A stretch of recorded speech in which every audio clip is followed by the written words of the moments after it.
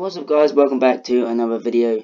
And today's video is going to be another video on the tier list. And today we're going to be ranking every Premier League side's away shirts for the 1920 season which will start in two weeks um, as I'm recording this. So I did one on the home shirts and obviously like I said we're going to do one on the away shirts today. And let's get straight into it. So starting off with Arsenal, my team.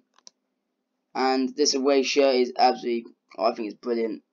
Um, it's got you know, stripes down the sleeves from Adidas. It's got kind of that old pattern on the shirt. Um, it's got its own retro feel to it from the bruised banana shirt from the 90s. And I think, personally, I'm no biased in this whatsoever. I'm putting it in God. Don't even tell me I'm being biased because I'm not. Um, now, this is going to be okay. I know this isn't Newcastle's actual away shirt. This tier that I'm doing is um, obviously not updated itself. Uh, but this isn't actually Newcastle's away shirt. Uh, I actually know the actual away shirt. It's kind of like a dark, I think it's kind of like a darkish thing. Oh, if I can put a picture of it on screen, I will. And their their their away shirt is pretty good. The actual one. Um, so I'm gonna put it in good. Crystal Palace. Uh, I actually like this one. It's um I think it's a lot better than the one they had last year. Black, um, obviously main part of the shirt with red and blue, kind of like weird lines down the middle, but I think it works quite well. The sponsor is in two, doesn't stand out quite often. It goes, it goes kind of well with the shirt, so I'm gonna put it in uh, good. I like that. Bournemouth's pretty good shirt.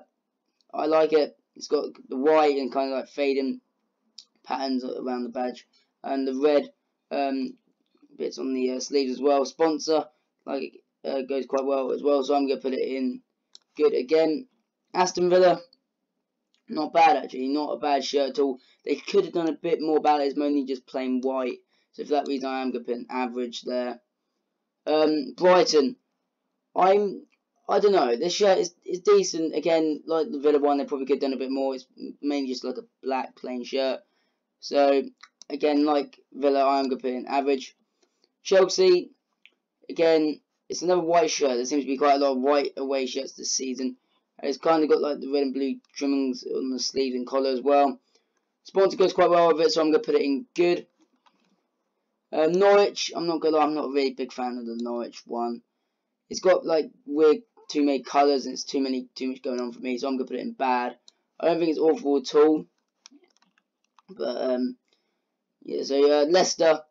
Now I'm also gonna put this in the bad section. Personally, I think the pink doesn't really go well with you know the sponsor, and um, it looks just basically just like an Adidas top really. If you just slap a badge and sponsor on it, it's pretty much what we got.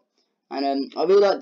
Interesting, I really like the Germany one that's got obviously that same pattern. However, I don't think it really works with pink personally, so I'm going to put it in. Am I going to put in bad or average? I don't know. I'm going to put it in. I'll put it in bad for now. Uh, Man City, decent um, shirt, black, uh, yellow with the um, sponsor. I think it's red on the Puma logo. I'm going to put an average. Manchester United, I think this is a weird one. It's a weird colour. It's kind of like brownish, darkish colour with black, um, similar to Arsenal actually, black stripes on the sleeves, uh, black trimmings on um, sleeves as well. So I'm gonna put it in. I'm gonna put it in good. I feel like it's decent. It's different. I like that. Liverpool shirts. I'm a big fan of this away shirt. I think it's kind of similar to Villa's one they had in the 18-19 season. Villa's home shirt. Kind of got that stripe, like darkish pattern fading in. So I, I'm really like that. Sponsor goes well. Good colours. I'm gonna put that in great. Now Southampton's. I'm not a big fan of this. It's you know their home shirt's bad. When this shirt's better than their home shirt, but it's still not great. I just don't see uh, if they got rid of that pattern and the sponsor wasn't too like the sponsor stands out too much. It's just not really good. I'm gonna bad. Spurs obviously um, not bad. It's a bit boring. Let's be honest. They could have done more with it. So I for that reason I'm gonna put an average. It's just it's just just a plain you know navy blue shirt really. Um, West Ham another white one very similar to you know likes of um, Chelsea, Bournemouth, and Liverpool. I really like this one. I think it's a lot better than their home shirt. Nice clout and blue ribbons. Um, sponsor goes quite well. I like it. I'm to put it in good. Now, Wolves. Decent shirt. I do like a black and orange shirt. I think the two colours go quite well together on a football shirt, and they've done that well. Sponsor. I mean, it's quite big on the shirt, but it doesn't stand out too often. Uh, I, am a big fan of that, so I'm going to put it in uh, great, actually. I'm a big fan of it. And finally, to finish it off, we're going to go Burnley's.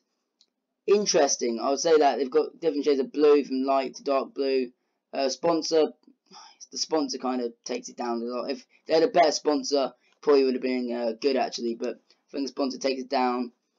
Oh, it's between bad and average, I'm not going to lie. I'm probably going to put it in bad. It's not the best shirt. So, there you go. There's my uh, tier list, guys. Obviously, no bias at all uh, included. If you guys enjoyed the video, leave a like, subscribe. I'll see you guys later. Peace out.